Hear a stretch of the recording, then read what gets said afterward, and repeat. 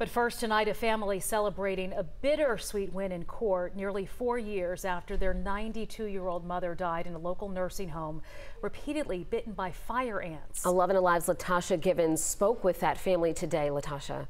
That's right, Jennifer. The family says they would have rather not had to file a lawsuit and they certainly would rather have their mother back. But they say their complaints went ignored for six months and suing the facility was the only recourse of action they had.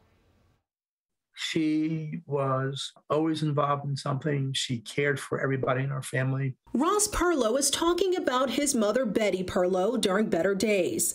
She was a nurse for decades, serving patients in hospitals and homes in different states. But there came a time when she needed full time care herself.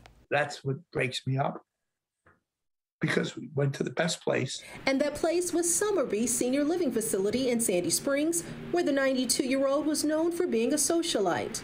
She was just a really special person um, who, who, who got along well with everyone in the facility, made lots of friends. But Betty died in 2018 after she was repeatedly bitten and stung by fire ants inside the facility. Her family shared these photos to show the agony she was in. She then suffered a, a suffered through uh, a week or so of, of, intense pain where she was noted to be moaning and scratching. I mean, she lived a great life, but that's not the way she should have gone.